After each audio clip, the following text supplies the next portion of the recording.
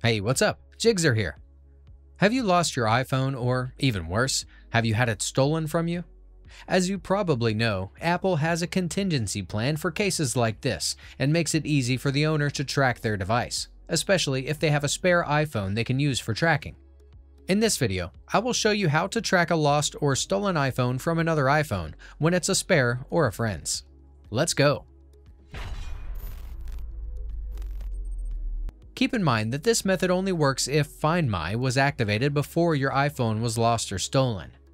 On another iPhone, open the Find My app. It doesn't matter if the device is signed in with a different Apple ID. Go to the Me tab. Scroll down and click Help a Friend. You can also access it directly at icloud.com/find. Sign in to the Apple ID used with your lost or stolen iPhone. As usual, Apple will ask for the two-factor authentication code to verify access. If your registered phone number associated with your account was lost with your device, you can proceed without the verification code. Browse below and click Find Devices instead. When the dashboard loads, tap the specific device in the list. You should be able to see its real-time location details if it's online.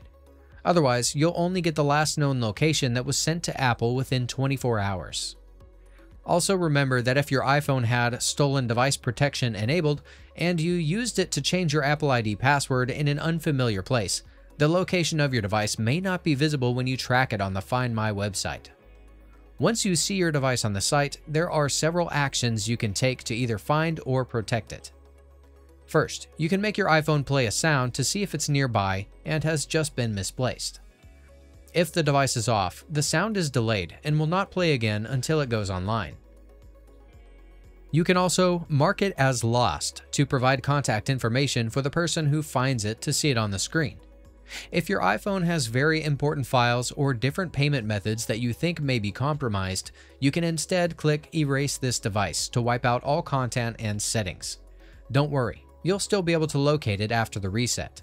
As long as you have a backup, if you find your device or simply decide to buy a new one, you can restore your data.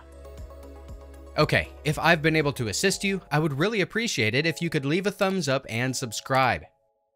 And if you enjoy taking photos and videos with your iPhone, please visit my website. Over the last few months, I've created a video course where I've gathered the best tips and tricks on how to make the most out of your iPhone for photography. You'll find the link to the website in the video description. Until next time, bye.